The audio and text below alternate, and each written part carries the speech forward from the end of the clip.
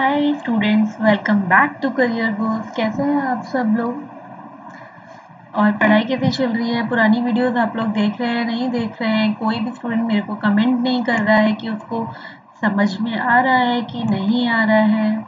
बस मैं भी पढ़ाई चाह रही हूँ और आप लोग भी वीडियो देखे जा रहे हैं, ठीक है? चलिए, आज का टॉपिक है concept and method of ecological anthropology ठीक है? ये पेपर फ़र्स्ट का टॉपिक है। चैप्टर नंबर 9.7 ठीक है? आपका nine chapter and ten chapter जो है, वो बिल्कुल कंप्लीट हो चुके हैं। ठीक है? अब हम कोई नया चैप्टर स्टार्ट करेंगे। आपके नाइन और टेन चैप्टर जो है, वो बिल्कुल कंप्लीट हो चुके हैं। उनमें कोई पॉइंट और कोई भी एक भी टॉपिक नहीं बचा है। ठीक है? तो स्टार्ट करते हैं आज का नया टॉपिक 9.7 चैप्टर का concept and method of ecological anthropology okay तो सबसे पहले ये टॉपिक ही क्या है? इकोलॉजिकल एंथ्रोपोलॉजी ठीक है? तो सबसे पहले आपको ये पता होना चाहिए कि इकोलॉजी क्या होती है। फिर मैं आपको बताऊँगी इकोलॉजिकल एंथ्रोपोलॉजी क्या होती है, क्योंकि मैं आपको जो भी चीज़ पढ़ाती हूँ, वो एज ए बेसिक से मैं आपको स्टार्ट करती हूँ, जिससे आपको कोई दिक्कत ना हो आगे चल के वो चीज़ समझने में। ठीक है? तो स्टार्ट करते हैं what is ecology ecology is a branch of science ecology क्या है? साइंस की ब्रांच है जिसमें वो इंक्लूड करते हैं ह्यूमन साइंस को पॉपुलेशन को कम्युनिटी को इकोसिस्टम को एंड बायोस्फीयर को, ठीक है? Ecology is a study of organism किसकी स्टडी ऑर्गेनिज्म की study the environment and how the organism interact with each other and their environment, ठीक है? It is a study at a various level, such as organism population community biosphere and ecosystem ठीक है? Ecology क्या है? किसकी branch है? Science की branch है। Human human science population community ecosystem biosphere सभी इसमें इंक्लूडेड होते हैं, ठीक है? And ecologist primary goal is to improve their understanding of life process ecologist का जो प्राइमरी गोल क्या है कि वो इम्प्रूव कर सके लाइफ प्रोसेस की अंडरस्टैंडिंग को अडेप्शन को and habitats interaction and biodiversity of organism इन सब चीज़ों को life process adaptation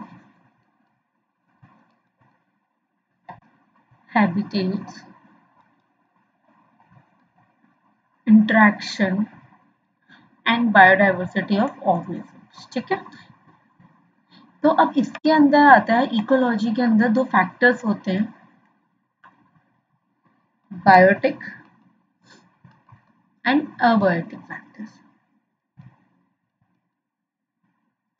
दो टाइप्स के फैक्टर है बायोटिक एंड एबायोटिक मैं आपको बिल्कुल बेसिक से समझा रही हूँ। देन फिर मैं आपको इस टॉपिक का जो है इकोलॉजिकल एंथ्रोपोलॉजी वो बताऊँगी और फिर उसमें एडिक्शंस बताऊँगी ओके तो ये नहीं कि मैम ये हमारे सिलेबस जा रहा है, अलग जा रहा है, नहीं, ये आपको मैं एक बेसिक से पढ़ा रही हूँ, जिससे आपको पता चले इकोलॉजी में होता क्या है, ठीक है? The main, the main aim of ecology is to understand the distrib distribution of biotic and abiotic factors of living organism in the environment. तो एबायोटिक और एबायोटिक फैक्टर जो है वो इंक्लूड करते हैं लिविंग और नॉन लिविंग फैक्टर को and their interaction with environment पे कैसे इंटरेक्शन करते हैं? इन्वायरमेंट से इंट्रैक्शन होता है। तो बायोटिक कंपोनेंट क्या होते हैं? बायोटिक कंपोनेंट आ रहे living factor of an ecosystem ecosystem का क्या है? लिविंग फैक्टर है। फॉर एग्ज़ाम्पल बायोटिक फैक्टर में कौन कौन बायोटिक कंपोनेंट में क्या क्या आते हैं? Bacteria animals birds fungi plant and etcetera और एबायोटिक कंपोनेंट में abiotic component are non living chemical and physical factors of an ecosystem these components components would be, could be acquired for the atmosphere lithosphere and hydrosphere इसके अंदर क्या आते हैं? Biotic के अंदर bacteria animals birds ये सब बायोटिक में ठीक है? Living factor of an ecosystem ठीक है? और ए बायोटिक कंपोनेंट्स में क्या? Are non living chemical and a physical fact of an ecosystem जिसके अंदर क्या आते हैं? एटमोसफेयर हो गया लिथोस्फेयर हो गया हाइड्रोस्फेयर हो गया। A few example of abiotic component include the sunlight है सॉइल है एयर है मॉइस्चर मिनरल है और और भी सारी बहुत सारी चीज़ें हैं जो एबायोटिक कंपोनेंट में आती हैं ठीक है? Living organisms are a grouped into a biotic components whereas a non-living component like a sunlight, water, topography are listed under the abiotic component. ठीक है? ये समझ में आ गया? अब आते हैं टाइप ऑफ़ इकोलॉजी इकोलॉजी के क्या क्या टाइप है तो इकोलॉजी है global ecology landscape ecology ecosystem ecology ठीक है? Community ecology and population ecology तो ये हमारे types ecology sorry and organism ecology and molecular ecology ठीक है? ये सेवन टाइप्स की अपनी इकोलॉजी टाइप्स ऑफ़ इकोलॉजी में सेवन टाइप्स ऑफ़ इकोलॉजीज होती हैं। ठीक है? तो ग्लोबल इकोलॉजी क्या? It deals with interaction among the earth ecosystem land के साथ एटमॉस्फेयर के साथ एंड ओशंस के साथ। इन सब के साथ क्या है? आपका इंटरेक्शन है। It help to understand the large scale of interaction and their influence on the planet ठीक है? Landscape ecology it deal with the exchange of energy क्या डील है उनकी? एक्सचेंज एनर्जी को एक्सचेंज करना या मटेरियल को एक्सचेंज करना। Organisms and other product of ecosystem ecosystem के और भी जो प्रोडक्ट है उन, उसकी, उनकी डील है, उसको एक्सचेंज कर दी थी landscape ecology through light through light on the rule of a human implant on the landscape culture structure and functions ठीक है ecosystem ecology it deal with the entire ecosystem ठीक है including the study of living and non living uh, component इसके अंदर living और non living दोनों uh, दोनों component की study होती है and their relationship with the environment ठीक है relationship with the environment. This science researches how to ecosystem work, their interaction. ठीक है एंड कम्युनिटी इकोलॉजी क्या डील करती है it deal how to community structure is modified by interaction among the living organism ecology community is made up of the two or more population ये दो दो से ज़्यादा population के of different species living in it living in a particular geographical area population ecology is deal with the factor ये किसके साथ deal करती है deal the factor that alter the implant the genetic composition and the size of population of the organisms ठीक है ecologists are the interested in in the size of population किसमें interested होते हैं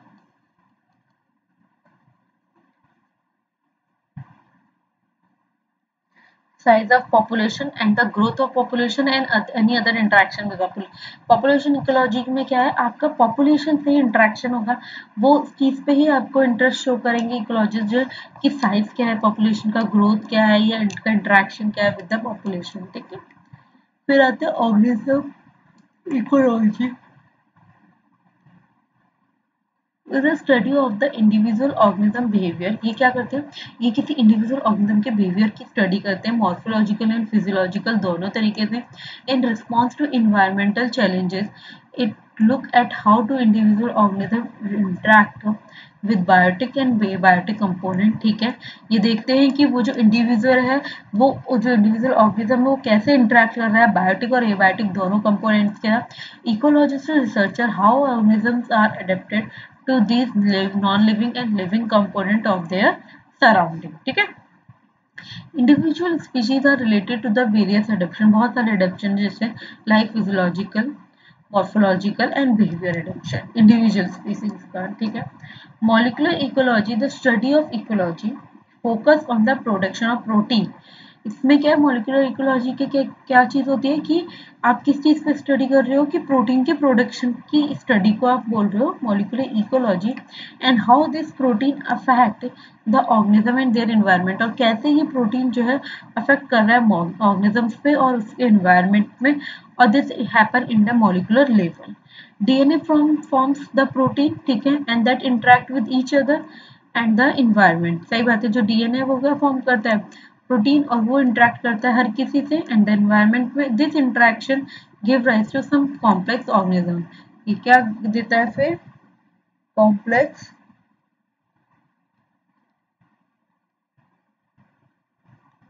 ऑर्गेनिजम्स ठीक है? तो ये था आपके टाइप ऑफ़ इकोलॉजी में। अब आते हैं importance of ecology The following reason explains the importance of ecology, conservation of the environment, resources of allocation, conservation eco friendliness ठीक है तो आते हैं सबसे पहले conservation of environment ecology help to help us to understand how our action affect the environment ठीक है वो वो उस चीज़ को समझते हैं कि आपका क्या एक्शन है जो इन्वायरमेंट को अफेक्ट कर रहा है। It through the individual of the damage we cause to the environment lack of understanding of ecology has led to the degradation of the land and environment and ecology की understanding की कमी की वजह से land और environment का degradation हो रहा है। It also led to the endangerment of certain species जैसे डायनासोर हुए वाइट शार्क हुए ये सारी स्पीसीज का जो है वो एंड हो चुका है। The study of environment on organism help us to protect them from any damage and danger ठीक है? Resource allocation with the knowledge of ecology we are able to know which resources are necessary for the survival of different organism हाँ हमें अगर हम इतने समझदार तो हैं या इतने पढ़े लिखे तो हैं कि हमारे अंदर इतनी क्या, इतनी तो दिमाग है कि हम ये पढ़ सकें या चीज़ें देख सकें। हमारे, इतने हम एबल हैं। We are able to know which resources are necessary for the survival of different organism कि हमें इतना दिमाग तो है ना कि हम ये दिमाग लगा सकें कि किस डिफरेंट ऑर्गेनिज्म के सर्वाइवल के लिए किस किस रिसोर्स की ज़रूरत है। The lack of ecological knowledge in ecological knowledge की कमी की वजह से है लेड टू द और हमारी इसी कमी की वजह से हमारे पास जितने रिसोर्सेज हैं, वो सब खत्म होते जा रहे हैं लीडिंग टू द कंप्लीशन ठीक है? Energy conservation all organism require energy for the growth and development her organism को एनर्जी की सबसे ज़्यादा ज़रूरत होती है अपनी ग्रोथ और अपनी डेवलपमेंट के लिए, ठीक है? The lack of ecological understanding led to the over exploitation of the energy resources जैसे लाइट हो गया न्यूट्रिशन हो गया रेडिएशन हो गया Led to be the depletion proper knowledge of ecological requirement prevent the unnecessary wastage of the energy sources thereby the conserving energy for the future purposes. Eco-friendliness ecologically encourage human living within the species and the adoption of lifestyle that protect the ecology of a life. इसको protect करता है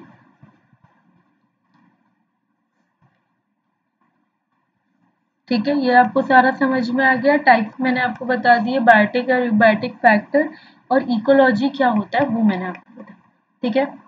अब आते हैं हम examples क्या है ecology के। ये मैंने बता दिया इम्पोर्टेंस है इकोलॉजी की, मैंने टाइप्स बता दिए अब हम आते हैं कि एग्ज़ाम्पल क्या है इकोलॉजी के। ठीक है? तो एग्ज़ाम्पल में ह्यूमन इकोलॉजी कि ये दो कंस आती हैं चीज़ें, ठीक है? Human ecology it is focus on the relationship between human and environment human ecology में क्या है? किस चीज़ का पे आपको फोकस करना है? किसके रिलेशन पे फोकस करना है? ह्यूमन एंड एनवायरमेंट के. The impact human being have on the environment and gives to the knowledge on how we can improve our self for the betterment of human and their environment ठीक है? Nike construction it deals with the study of how organisms alter the environment for the benefit of themselves and other living beings. For example, terminates create a six feet tall mound at all and at the same time feed and protect their the entire population. ठीक है अब आते हैं main चीज़ पे कि ये सारी कहानी कहाँ से शुरू हुई मैंने ये पूरा इकोलॉजी आपको किसके लिए पढ़ाया तो मैंने आपको अभी पूरा इकोलॉजी का एक शॉर्ट फॉर्म बता दिया, जिसमें मैंने आपको biotech abiotic and biotic components बता दिए। फिर मैंने आपको टाइप्स ऑफ़ इकोलॉजी पढ़ा दिया, ठीक है, जिसमें मैंने आपको सेवन टाइप्स बताए, ठीक है। फिर उसके बाद मैंने आपको इम्पोर्टेंस ऑफ़ इकोलॉजी बताया।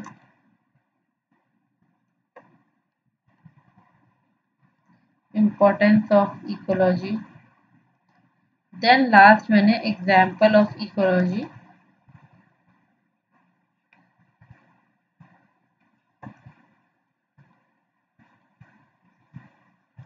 ये सारी चीज़ें मैंने आज आपको एक्सप्लेन करी।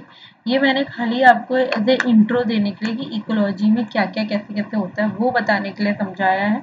ठीक है? अब आते हैं हम टॉपिक का जो मेन पॉइंट है इकोलॉजिकल एंथ्रोपोलॉजी वो क्या होता है? अब वो हम यहाँ से स्टार्ट करेंगे, ठीक है?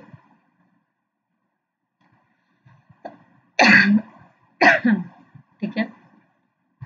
ये फिर हम यहाँ पे आज इसको ख़त्म करेंगे। इसके मैंने खाली आपको जो लिया है आज हाई एटीट्यूड वाला ही लिया है। अभी इसमें cold and cold and hot stress का भी बचा हुआ है, जो हम कल कंप्लीट कर लेंगे, ठीक है? कल भी किसी भी एक टॉपिक के साथ मैं इसको ज्वाइन कर लूँगी, जो नया चैप्टर स्टार्ट होगा। देन उसके बाद हम कोई एक नया चैप्टर स्टार्ट कर लेंगे। अगर कोई भी स्टूडेंट ऐसा इंटरेस्ट कोई भी स्टूडेंट है, जो ये चाहता है कि नहीं मैम हम जो भी मतलब हमें जो टॉपिक पढ़ना है, अब वो हमें पहले पढ़ा दीजिए। तो मैं आप लोगों से बहुत बार बोल चुकी हूँ और आज मैं दोबारा बोल रही हूँ कि ठीक है, आपको अगर कुछ ऐसा पढ़ना है तो आप कमेंट बॉक्स में प्लीज़ कमेंट कर दीजिए, मुझे कोई प्रॉब्लम नहीं है। मैं वो चैप्टर भी पहले कंप्लीट करवाने, करवा दूँगी। तो आप लोगों से रिक्वेस्ट है ना कि आप वो चीज़ कमेंट करिए, ठीक है? तो आप लोगों से इस चीज़ का रिक्वेस्ट है, आगे ध्यान दीजिएगा, जिसको जो भी टॉपिक पढ़ना है, एक बार मेरे को कमेंट कर दीजिए तो मेरे लिए इजी रहेगा, ना कि मैं तो अपने हिसाब से पूरे सीक्वेंस की वजह से मैं जैसे पढ़ा रही हूँ, मैं वैसे पढ़ा के ख़त्म कर दूँगी, ठीक है? पेपर सॉल्व करने के लिए भी मुझे स्टूडेंट बता दें, किसको पेपर सॉल्व करने का सेशन रखना है, ठीक है? ये पढ़ेंगे हम इकोलॉजिकल एंथ्रोपोलॉजी ये इकोलॉजिकल एंथ्रोपोलॉजी का ही इंट्रोडक्शन पार्ट है। तो ecological anthropology study the relation between the human being and environment और ह्यूमन बींग के जो रिलेशन है, उसकी स्टडी करने को हम क्या बोलते हैं? Ecological anthropology the theory is that human shape that environment they live in while the shape of structure of the population ठीक है while the population may not interact with the entire environment अगर population जो है वो entire environment के साथ interact नहीं कर रही है they are the certain aspect of the of the occupy as a habitat. For example, human who, who were a hunter would differ for the population that took to farming as a form of a life. ठीक है तो ecological anthropology क्या है? कि relationship study है, किसके बीच में? ह्यूमन बीच और इन्वायरमेंट के बीच में।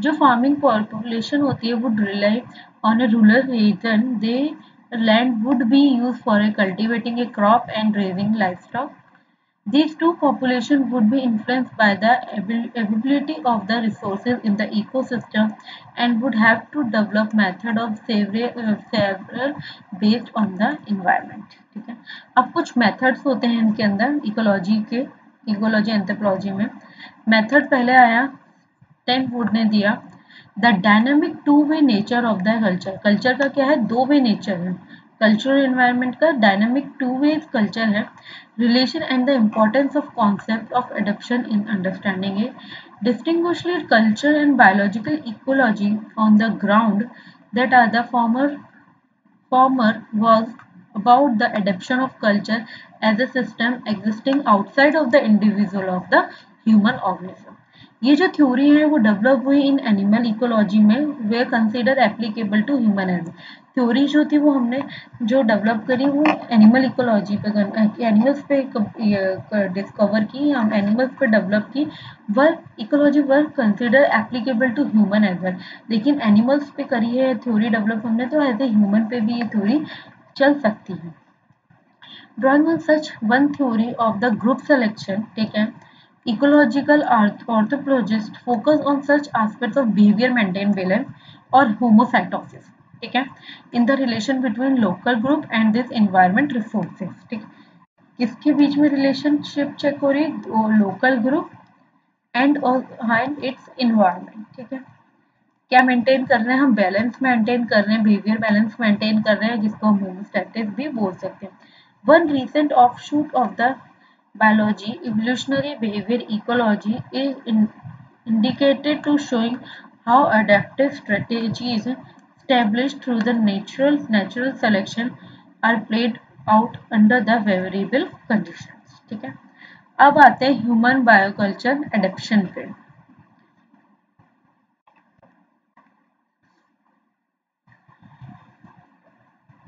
human bioculture adaptation human have occupied a wide range of habitats ठीक है उनका बहुत बड़ा रेंज होता है because of their ability to the environment the living and in animated for their purposes ठीक है? क्योंकि उनके, इनके अंदर क्या एबिलिटी होती है कि वो इन्वायरमेंट के साथ रहते हैं। This approach is largely based on the on a notion of adaptability, ठीक है? Which regards as such as they occupied with the set of a biological trait that provide mean of the survival with certain limits उनकी कुछ limits के साथ वो रहते हैं। It involve physiological structure behaviour cultural changes तो biological bioculture adaption जो है,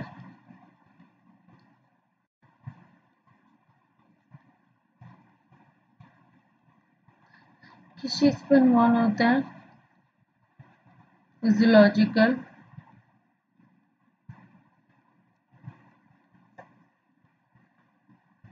structural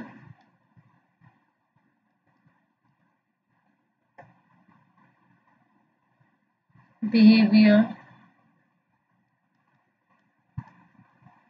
and cultural changes.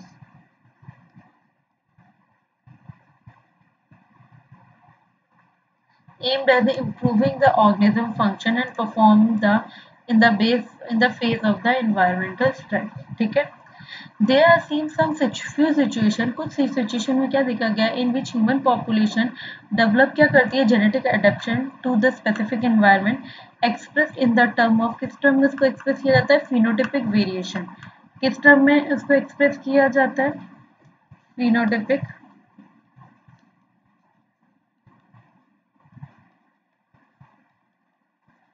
which eventually led to difference in allele and frequency between population.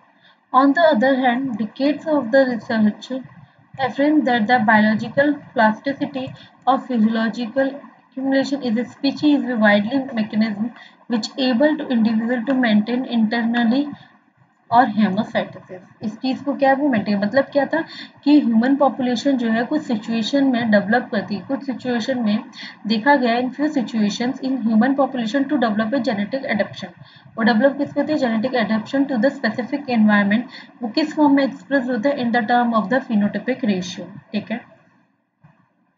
Culture is a complex entity of the technological, social institution and belief system. with our own evolutionary, biological and behavioral heritages. The aspects of the human variation include the bioculture response. इसको include करता है bioculture responses of the population to the different kind of the environmental induced stress. जैसे क्या क्या stress induce होता है high altitude, cold, and heat ठीक है? ये तीन टाइप का जो है, वो स्ट्रेस जो होता है इन्वायरमेंट के थ्रू इंड्यूस होता है, ठीक है?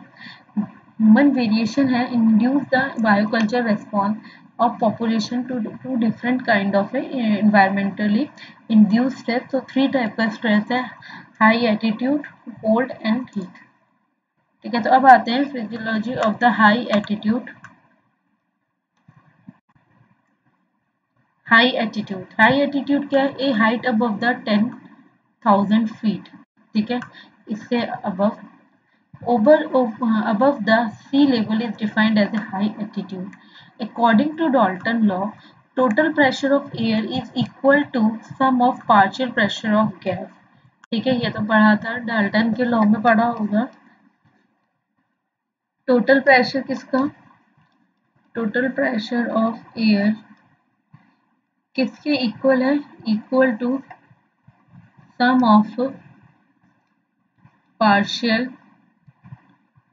pressure of gases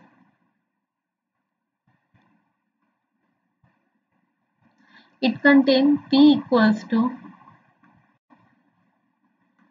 it contain P equals to PO2 plus PCO2 plus PN2 and PH2 मतलब H2O plus CO2 does not depend upon the altitude but O2 and N2 और with the increase in the height जब भी आप किसी height पे चलते चले जाएँगे तो जो आपका PO2 एंड NO2 है N2 है वो हमेशा डिक्रीज होना स्टार्ट हो जाएगा at high altitude high altitude पे low partial pressure of O2 let's the led through the hypoxia.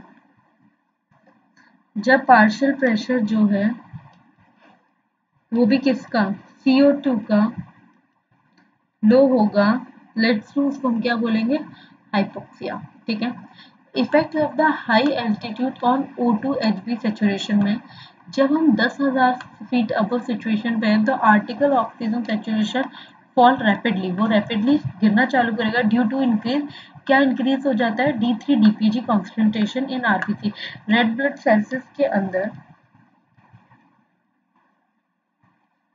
Red blood cells के अंदर D three D P G जो है, वो इंक्रीज होना स्टार्ट हो जाता है. It's slightly less than seventy percent at twenty thousand feet and how much and much less at at a higher altitude तो इफ़ेक्ट ऑफ़ हायर एटीट्यूड क्या क्या इफ़ेक्ट होगा hypoxia effect of the gas का effect of fall in the atmospheric pressure and effect of the light rays ये higher attitude का है। और hypoxia का क्या इफ़ेक्ट आएगा? हाइपोक्सिया क्या पॉइंट ब्लड के अंदर इंक्रीज कर देगा? क्या इंक्रीज इंक्रीज करेगा? आरबीसीज के काउंट ठीक है।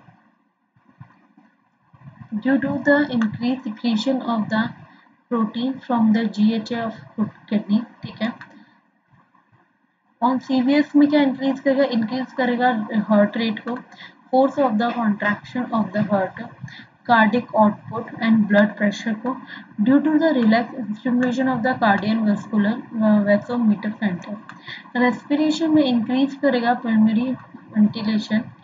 pulmonary ventilation due to the chromoreceptor reflex following the increase, the PaO2 मतलब पार्शियल ऑक्सीजन कार्बन डाइऑक्साइड को क्या है? वो इंक्रीज करते हैं। तो ब्लड के अंदर क्या है? आरबीसी के काउंट जो है वो इंक्रीज हो जाएँगे। उनके increase due to increase secretion of the thyroprotein किसकी from the GSA of the kidney CVS S जो है, क्या इंक्रीज करेगा? हार्ट रेट को इंक्रीज करेगा। Force of the concentration of the heart cardiac uproot को।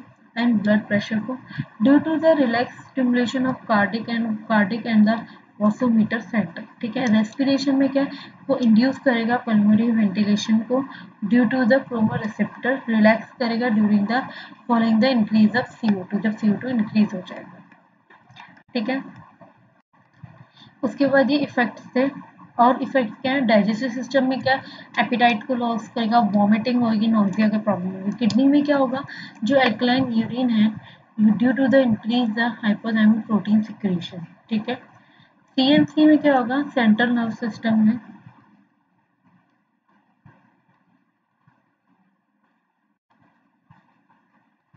डिप्रेशन होगा loss of general loss of self control हो जाएगा। टॉकेटिव हो जाओगे इल टेम्पर्ड हो जाओगे रूड हो जाओगे loss of power of judgement power loss हो जाएगी मेमोरी इम्पेयर्ड हो जाएगी फर्जाई फर्जाई हो जाओगे लॉ लैक ऑफ़ कोऑर्डिनेशन हो जाएगा, ठीक है? सडन लॉस हो जाएगा कॉन्शियसनेस का, ये सारी प्रॉब्लम कब आएँगी? जब आप सेंट्रल नर्व सिस्टम में आपको हाइपॉक्सिया से हो जाएगा, ठीक है? अब गैस का एक्सप्रेशन ये चीज़ें थी ना, ये आपको मैं एक्सप्लेन कर रही हूँ है। अकॉर्डिंग टू बाय लॉ इस लॉ के अकॉर्डिंग जो एटमॉस्फेरिक प्रेशर है, वो डिक्रीज हो जाता है with the altitude in volume of gas increase proportionally तो एटमॉस्फेरिक प्रेशर जो है वो वो डिक्रीज हो जाएगा और वॉल्यूम ऑफ़ गैस जो है, वो हमेशा इंक्रीज हो जाएगी। ठीक है प्रोपोर्शनली चलते हैं।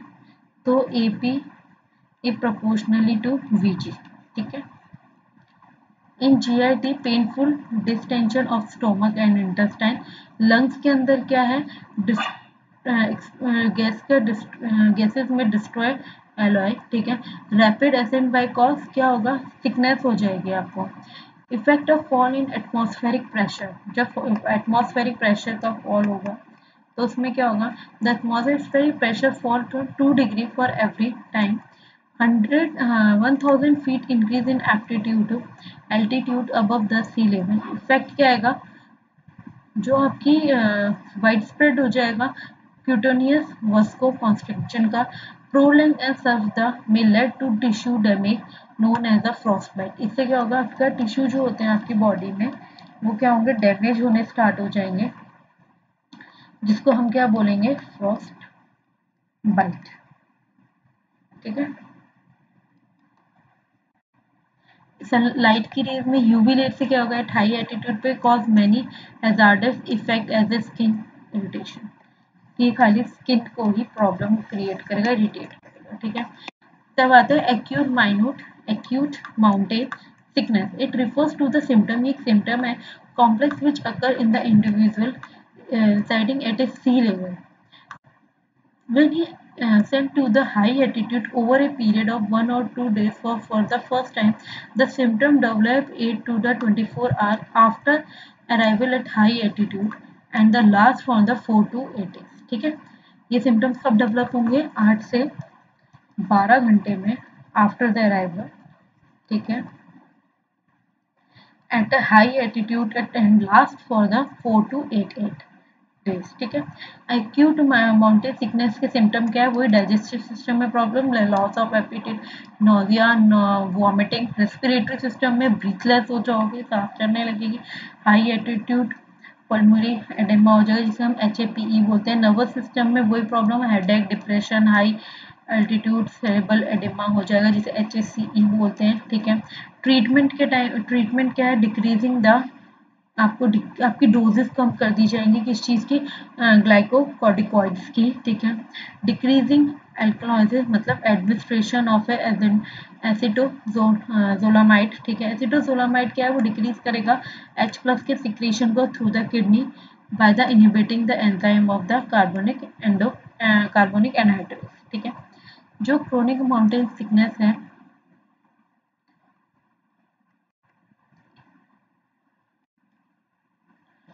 It also called a movement disease. ये अगर मतलब some long term resident in high altitude. Effect क्या है वही extreme polycythemia, pulmonary arterial pressure, arterial pressure. Right side of heart become a greatly enlarged. Peripheral arterial pressure begins to fall. Death follow it, it if left untreated. These individuals must be removed to a lower altitude altitude to the prevented rapid development of the fetal pulmonary ठीक है, उसके अंदर क्या क्या problems होंगी? ठीक है, उसका ये कैसे करती है एच अब आते हैं हाई एल्टीट्यूड पल्मोनरी एडेमा जिसको हम एच ए पी ई भी बोलते हैं।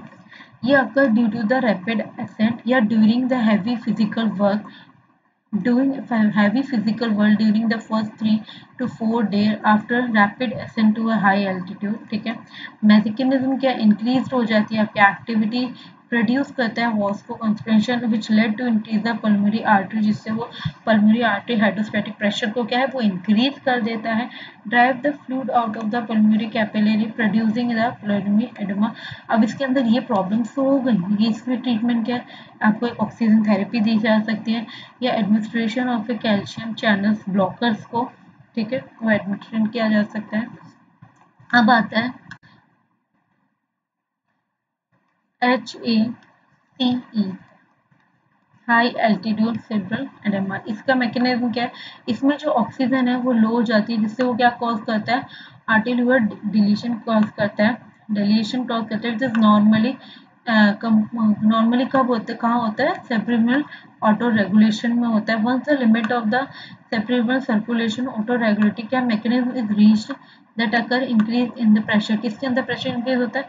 पल्मोनरी पल्मोनरी के अंदर जो है वो प्रेशर इंक्रीज हो जाता है, ठीक है? It favours increase the transduction of fluid into the brain tissue treatment क्या है? Large dose of the glucocorticoids glucocorticoids की इसमें लार्ज डोज देते हैं बट ऐसे ही इसके अंदर उसको था ना रहा उसमें भी आपको लार्ज डोज देते हैं जब एक्यूट माइनर सिकनेस होते हैं माउंटेन सिकनेस होती है, ठीक है? रेस्पिरेशन के टाइम पे इंक्रीज हो जाती है pulmonary ventilation and blood flow increase हो जाता है, जो डिफ्यूजिंग कैपेसिटी है लंग्स की, वो भी इंक्रीज हो जाती है due to stimulation of the chemoreceptor central V S C V S में इंक्रीज होता है heart rate cardiac output and BP ये सब इंक्रीज हो जाता है। Blood flow to the vital organ like heart brain muscles में इन सब में ब्लड फ्लो जो है, वो इंक्रीज हो जाता है। Tissues increase the the quality of oxidative enzymes involved in the metabolism present in cell increase number of mitochondria in cell इससे नंबर ऑफ़ माइट्रोकॉन्ड्रिया इंक्रीज हो जाते हैं। म्यूग्लोबिन जो है, वो भी इंक्रीज हो जाता है टिश्यू के अंदर, ठीक है? तो आपका आज के टॉपिक में ये सारी चीज़ें कवर होती हैं इकोलॉजी और एंथ्रोपोलॉजी इकोलॉजिकल एंथ्रोपोलॉजी क्या होते हैं? और एडेप्शन इन ह्यूमन ठीक है? तो एडेप्शन इन ह्यूमन में तीन चीज़ें हैं हमारी। मैं आपको लास्ट वाले बताती हूँ।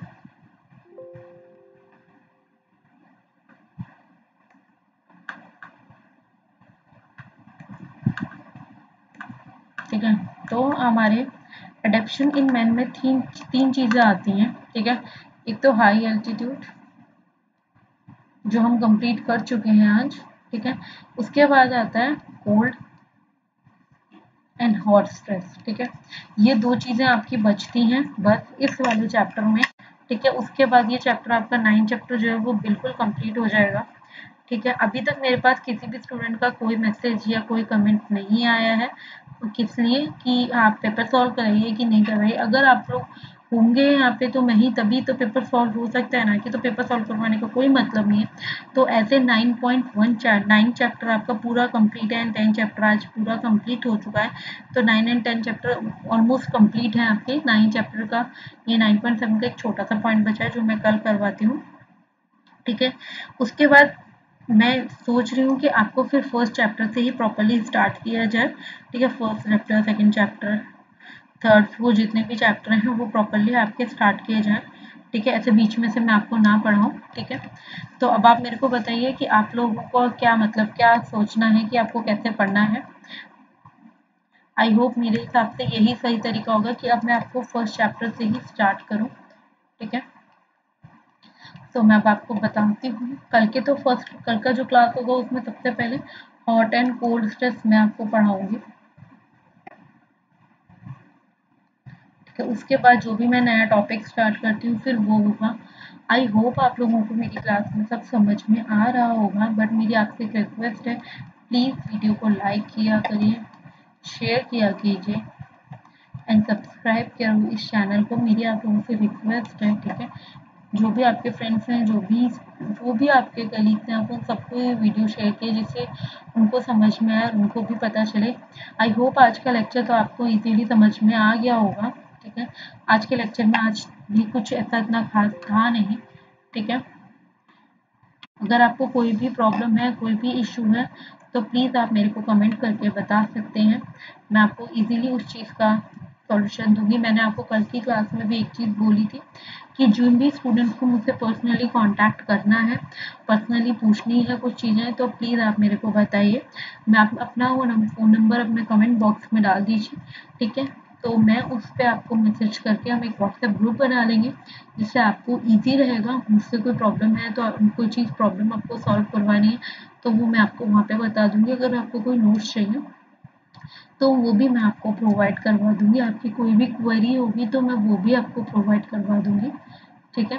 जैसे मेरे को अगर आपसे कुछ पूछना है कि पेपर सॉल्व कब करवाने हैं या नेक्स्ट चैप्टर आप कौन सा पढ़ना चाहते हैं तो मेरे लिए भी लिटिल बिट वो ईजी हो जाएगा, ठीक है? तो आप लोगों से प्लीज़ रिक्वेस्ट है। जो भी स्टूडेंट इन वीडियोस को देखते हैं प्लीज़ लाइक कर दिया कीजिए आप लोग, ठीक है? और मैंने जो बोला है, उस चीज़ पे भी कमेंट कर दीजिए जिससे मेरे लिए भी थोड़ा इजी हो जाए और आप लोगों के लिए तो बहुत ज़्यादा इजी हो जाएगा, ठीक है? और बताइए, आप लोगों को सब समझ में आना चाहिए। अगर आपको कोई भी चेंजेस चाहिए तो प्लीज़ आप मेरे को एक बार कमेंट करके बता सकते हैं। मैं वहाँ पे उस चीज़ को चेंज कर दूँगी। बट आज का जो लेक्चर था, वो बहुत इजी था। ह्यूमन पहले इकोलॉजी को हम नॉर्मली हमने एक्सप्लेन किया है, जिससे आपको थोड़ा पता चले कि इकोलॉजी होता क्या है। इस वजह से मैंने सबसे पहले इकोलॉजी एक्सप्लेन किया, जो एक बहुत नॉर्मल चीज़ है, आप लोगों ने पहले भी पढ़ी होगी, ठीक है? देन उसके बाद मैं आई थी इस पे। ये था आपका इकोलॉजिकल एंथ्रोपोलॉजी पे, जिससे जो आपका मेन टॉपिक था, जिससे आपने पढ़ना था ह्यूमन इकोलॉजी को इकोलॉजी एंथ्रोपोलॉजी को। एंड देन उसके बाद ह्यूमन बायोकल्चर एडप्शन में आपका हाइट्स वाला इशू आता है physiology of the height and then इसी की तरह cold stress and hot stress आएगा, ठीक है? आई होप आप लोगों को समझ में आ रहा है, ठीक है गाइज़ तो कल मिलते हैं, आपके से एक नए लेक्चर अपलोड करूँगी मैं कल, एक नए टॉपिक के साथ, एक नए चैप्टर के साथ। आप लोगों से मैं फिर से रिक्वेस्ट कर रही हूँ, अगर ऐसा कोई भी टॉपिक है या कोई भी चैप्टर है जो आप पहले स्टार्ट करवाना चाहते हैं प्लीज़ आप मेरे को कमेंट कर सकते हैं, मैं वही चैप्टर जो है फिर स्टार्ट करवा दूँगी। कल की क्लास में सबसे पहले मैं cold and hot step complete करवाऊँगी then उसके बाद ही मैं कुछ नया टॉपिक स्टार्ट करूँगी। कल की क्लास में ये तो फाइनल है, ठीक है? तो जो भी नया टॉपिक कल स्टार्ट करेंगे, वो हम कल से आपको मैं बताती हूँ, क्या टॉपिक हम स्टार्ट करेंगे। ठीक है गाइज़ चलिए, अब मिलते हैं स्टूडेंट्स कल की क्लास में। आई होप सबको समझ में आ रहा होगा, बस आपको मुझसे रिक्वेस्ट है कि प्लीज़ लाइक करें शेयर करें और कमेंट करें और इस चैनल को जितना हो सके सब्सक्राइब करें. Thank you for students for watching this channel this channel and this lecture thank you student